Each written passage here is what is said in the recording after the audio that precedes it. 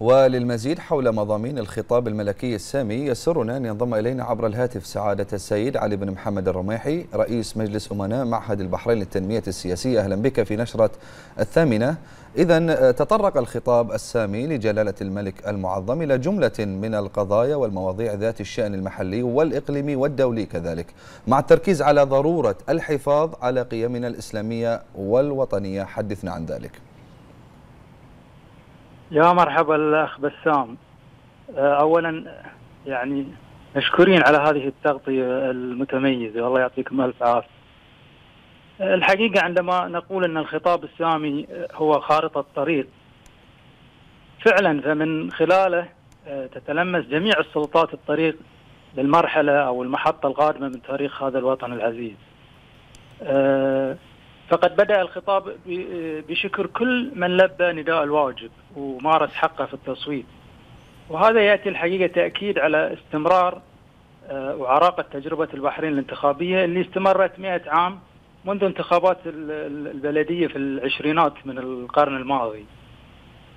الحقيقة عندما خاطب صاحب الجلالة الملك المعظم الأمة بهدف حماية الصالح العام.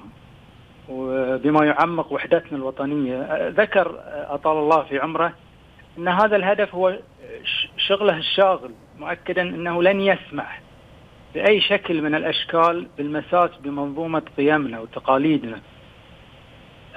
أكد سنقف في وجه أي غزو فكري يتعارض مع قيم شريعتنا الإسلامية والفطرة الإنسانية.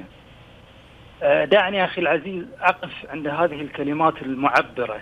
النابعة من قلب والد الجميع ورب الأسرة البحرينية الكبيرة والتي يوجه فيها جميع السلطات بعدم التهاون بأي شكل من الأشكال مع هذا الغزو الفكري الذي لن يجد له مكانا في هذا المجتمع بتكاتف الجميع بإذن الله. أه الحقيقة هي رسالة واضحة يجب على الجميع العمل على متابعة تنفيذها من مؤسسات أفراد كلنا مسؤولين. رب الأسرة المعلم المعلمة رجل الدين الصحافة كل من موقعه. صاحب الجلالة أطال الله في عمره أكد ثقته بكفاءة واقتدار حكومة جلالته برئاسة صاحب السمو ولي العهد رئيس الوزراء. اللي الحقيقة يتصدى لجميع الملفات بفريق شاب نتمنى له التوفيق والنجاح. أكد صاحب الجلالة الملك المعظم على أهمية البرامج الاقتصادية بما يلبي احتياجات المواطنين. الحقيقة يعني إذا جيت باختم في هذه العجالة يعني أنا أنتهز هذه الفرصة للتأكيد على أننا في السلطة التشريعية أو معهد التنمية السياسية سنواصل في المرحلة المقبلة بذل كل الجهود لتنفيذ الرؤية الملكية السامية. لصاحب الجلالة الملك المعظم أطل الله في عمره وأبقاه ذخرا لهذا الوطن العزيز.